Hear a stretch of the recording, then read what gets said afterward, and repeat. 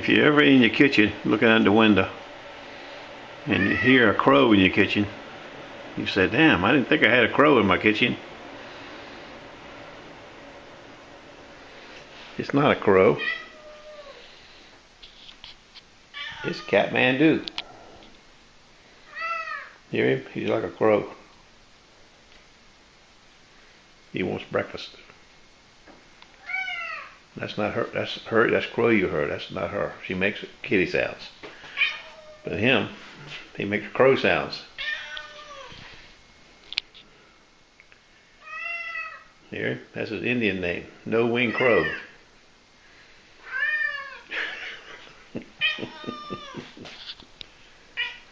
Come on, no wing crow. There he is. No wing crow.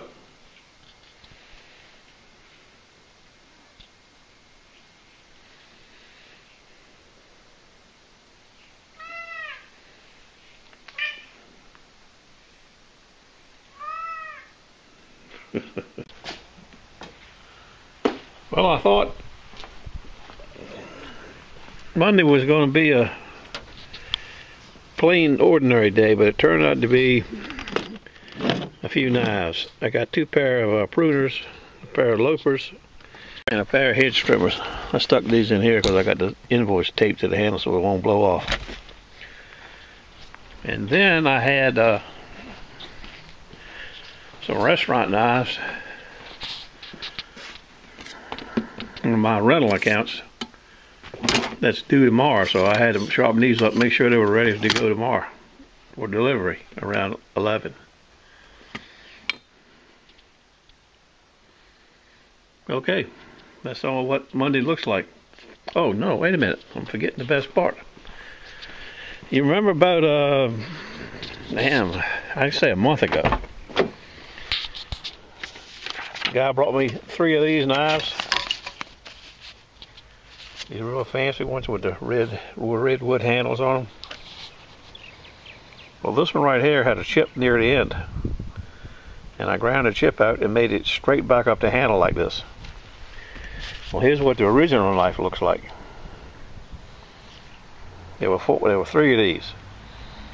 And apparently, he just couldn't fall in love with the way I the way I did it. So he called me up says, you think you can make that one look like the other ones? I said, sure. Well, perfect, but it's close enough for government work.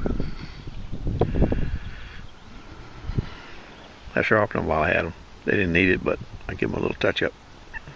Pretty, aren't they?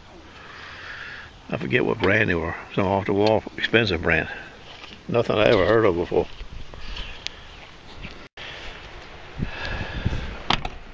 I've been out doing some honeydews. We're getting ready to have a shake-up. Breezed up from the northeast. Supposed to rain tonight, tomorrow.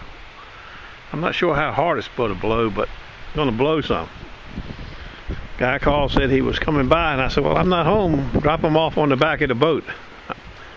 He said he had some hedge trimmers and a knife. See what we got back here. I see the handles. Oh, yeah, he's got a pair of, oops, I got a note here says thank you. You got some hedge trimmers and some loppers. American Ash, that's the handle, of course. Not too bad. Oh, yeah, not too bad at all.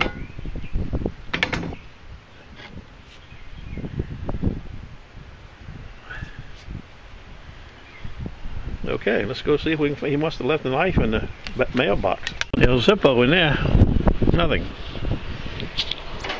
I know what I had to tell you. Doc Beaver. You know, he's former military SEAL kind of guy. He's uh he's in San Diego, or he's on his way to San Diego for some uh, some work, training, or I'm not sure. You know, it's none of my business anyway. But he said he's going to be there three or four days and detecting the beach of San Diego. I don't know if he's going to stay with one beach or several beaches, but I know we'll get a good report from Doc Beaver. Stand by. It's dreary, nasty. Been raining all night. It's not raining right now. I'm on the way to the machine shop to pick up my uh, new variable speed right hand buffer. I should say right shafted buffer. I took that variable speed, I took another one of those variable speed motors and had a bracket made for it. I'll show it to you when I get there. I played the lotto uh, last night.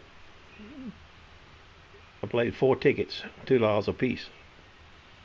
And I don't know where I came in at, but that number right there is the Powerball or the mega number or whatever they ever call it. And that's the that's the only number I had, which wins four bucks.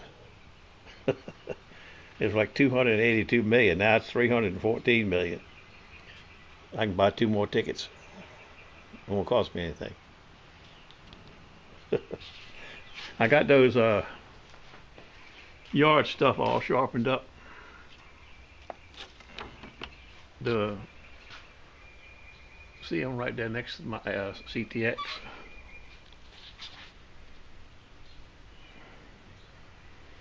Loppers. Okay. I get back to you in a little bit. Well, there it is.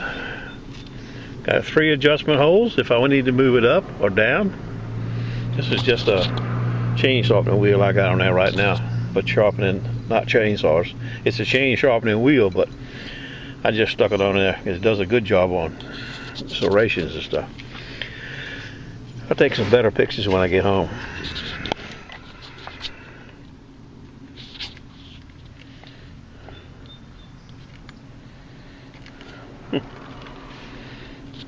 Okay, stand by. I might have stumbled on another rental customer. I just picked up, uh, what have I got here? Three, six knives, baker chefs, things like that, from a retirement home. I'm going to sharpen them for them tomorrow, maybe today, take them back to them tomorrow, and then see how long they stay sharp.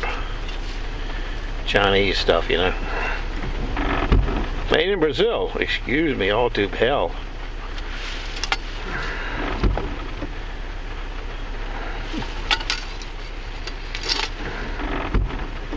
I haven't ever got home yet from my first mission. I still rode riding around with my little do doodad thing. And I picked up some saws. I don't do saws, but I have a buddy of mine that does. Okay, it's raining. I got to get on the highway. Hey, we got three Santokus, one Chef's, two boners I call them, from the retirement place. They're not in too bad a shape. They're dull, I mean. This one uh, right here has one pretty good sized chip in it. You can probably see it right there.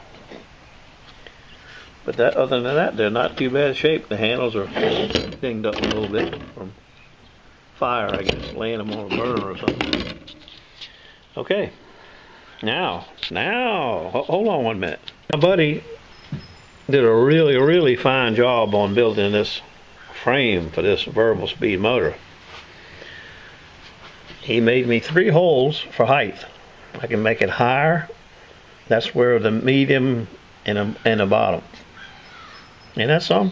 And it's built out of a big piece of iron, like angle. It's not, I guess it weighs 15 pounds maybe. Put some holes right there to screw it down with. Put the uh, control box with the variable speed knob right there.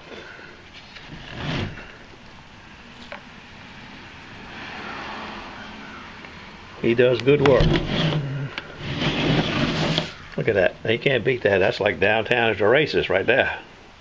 This was a piece of motor on the motor that came with it so you could mount it on the lathe, you know. It's a lathe motor. Penn State half horsepower. Stand by, I'll give you some more ideas. I got this 2 by 2 square sheet of plywood, 3 quarter inch. Home Depot sells it in random squares, you know, different thicknesses. My plan is to mount it, hold on a minute, and is to mount it like this on the edge of the plywood about two inches off from the side. I have this tool rest from Oneway that I bought it'll sit on here like this some kind of way, where I decide to put it. And I presume you've seen these. You lock it. Hold on a minute. The red arm locks it in place. Because it's slippery now. It wants to move around. But that lets this piece... Come on now, Gladys. That lets this piece slide in and out telescopically. So you can move it up against the whatever it is you have on here. Stand by.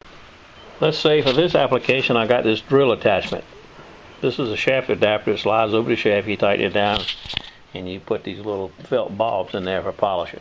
They come in different shaft sizes and different configurations. I'm going to do a separate video on this. So this is just something I'm warming you up to and myself. Adapter right here, I could, I'm not going to put it on there, but I could put this buffing wheel on there. You understand how that works. I could put this, uh, you take that shaft adapter off, you piece of turkey, you. put this little tapered spindle on there and the buffing wheel slides right onto that. It locks on there with that. You can change buffing wheels real fast with this taper spindle. That's a pretty cool little thing. I got I got a big one over here I use on this three-quarter inch buffer but this one's threaded so it's really nice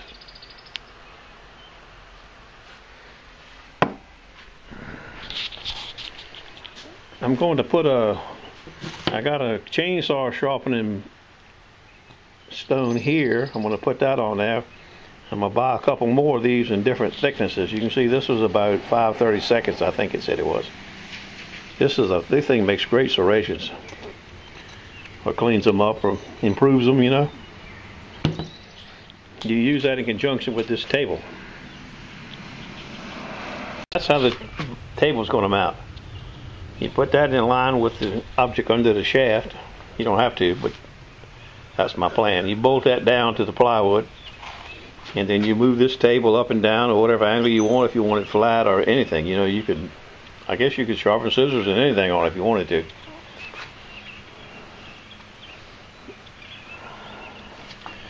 You can put this one on and do serrations in a knife blade or anything that needed grinding.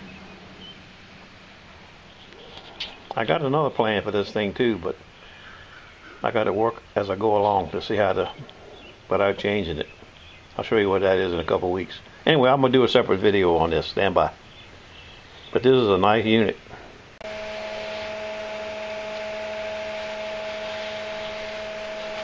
Now I'm on the variable speed motor. I got it so when it's when it's off, when it's turned all the way to the left, it's off. This one I got it turned down to full 500 maybe.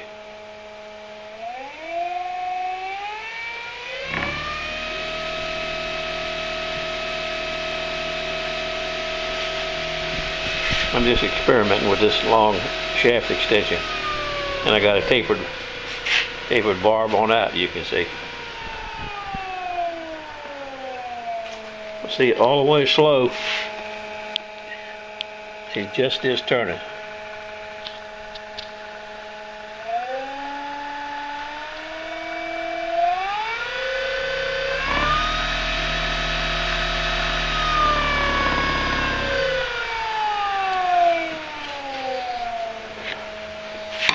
I got the uh, thing right here. Because it doesn't line up with this long shaft, but it lines up with the short shaft that this is on. Short shaft extension. Short shaft extension and whatever else I want to put on there, you know. You can slide it up wherever you want. And you change the angle by whatever you want it to change at.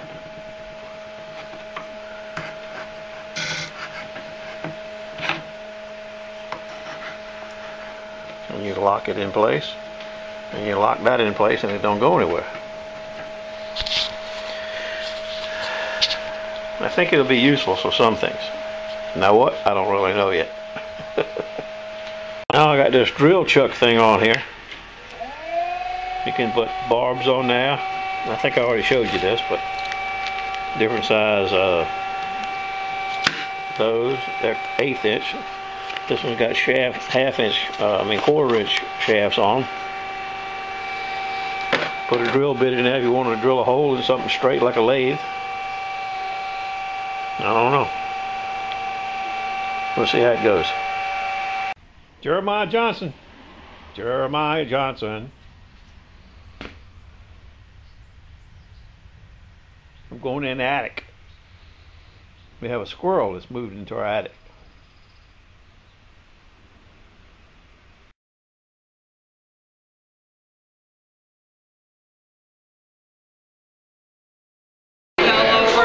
It's prehistoric nowadays. I know it.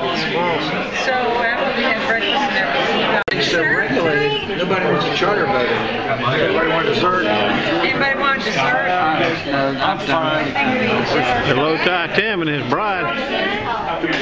No, like George? right now we're not even doing charter just because the some of Jay it's liability with, from Costa with all the people, and then the other part's is security. The rest of our group. Having all these different people come down because they We have 11 tonight in our group. and they've got a gated front right now. We're at dockside. Yeah, so yeah, and that's Get what picture of Henry.